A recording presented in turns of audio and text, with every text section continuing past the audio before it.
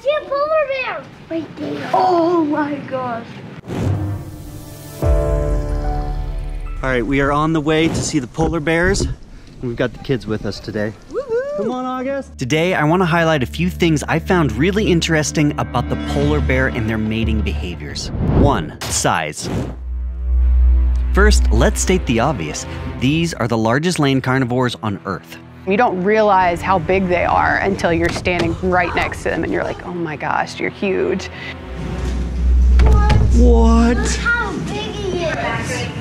Look how big he is. It's like 12 feet. He's bigger than you, Dad.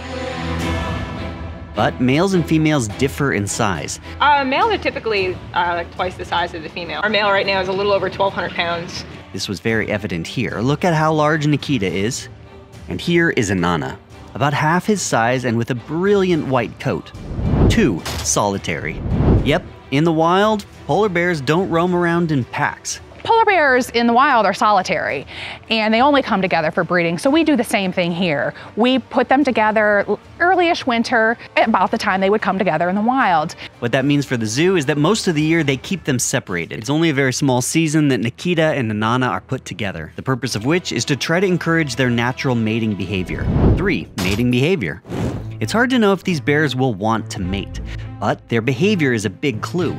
When Anana cycles and is ready to mate, Nikita will smell her. A certain time of the year, the male will start sort of tracking females. Um, they have a really good sense of smell. They can actually um, find a female and track her for miles just by this, like this, the smell that she's leaving from the bottom of her feet in, you know, on the ground.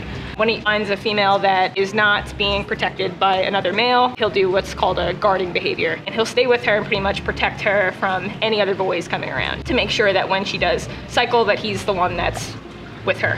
When that happens, he won't let her out of his sight. He'll even go so far as to sleep with his head on top of her. This makes sense in the wild, as males want to make sure no other males have the chance to mate with her. 4. Delayed implantation. Polar bears can actually time precisely when they have babies via delayed implantation. Polar bears will breed late winter, early spring.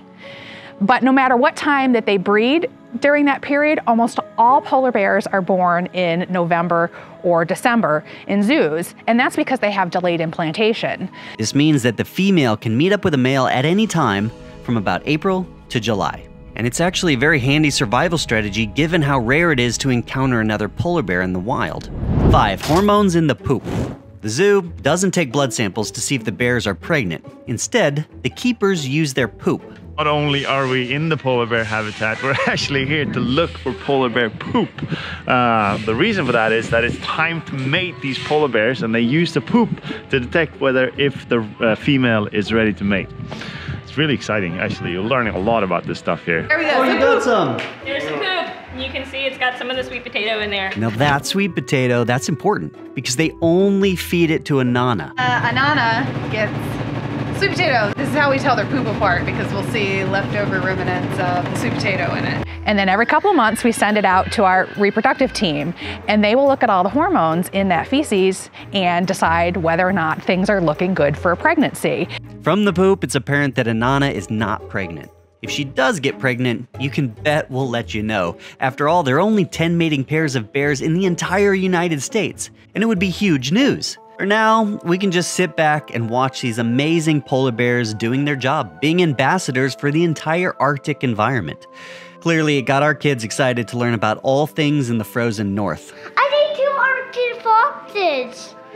They're so cute. Maybe next time, a video about the Arctic fox. Leave a comment down below as to which animal you would like us to highlight next. Thanks everybody for watching this short. More information on what the zoo is doing down in the description below, and stay tuned for more episodes. I'd like to invite you now to go over to the North Carolina Zoo's YouTube page where I'll be doing an extended cut of this polar bear video very shortly. We're waiting to see if there's any mating happening, and then we'll release it. Thanks again, everyone. See you soon.